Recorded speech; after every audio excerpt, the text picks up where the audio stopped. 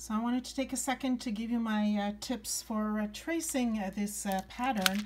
So the first thing is the cellophane. Uh, once I've got the cellophane, I actually put some uh, masking tape on both sides, it, on both sides um, around all the edges so that it's first of all easier to pin down onto this uh, Styromoose cardboard that I purchased.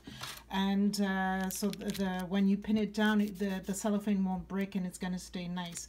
The other thing is that I've actually uh, ensured that it was nicely stretched out before I put the uh, masking tape and then onto the second, uh, the other side so that it's also easier to move around.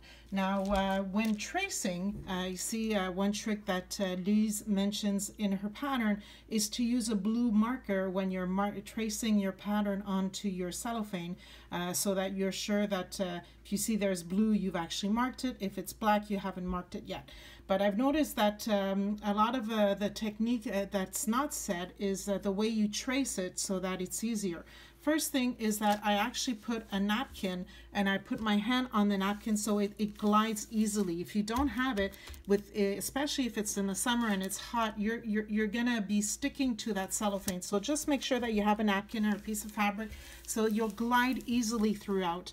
And make sure that when you're marking, if you're right-handed, you go from left to right and you don't go over because you see here, you're, you're gonna get smudges everywhere.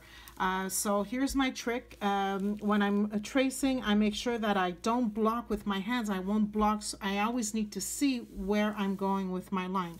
So I'm going to go downward more so than upwards and uh, to to the right. Because again, if you're marking, um, if you're mar any, uh, you, you'll kind of notice when you'll get the hang of it, you'll see, oh, I can't see where I'm drawing. So you need to stop and move uh, at that time. So you simply go and mark and you nicely, just smoothly go along. And if you have your napkin, it's really going to be easy to glide through that line, through the line. You do not um, remove your marker. You simply uh, keep it down and it's your hand that's doing the all of the movement.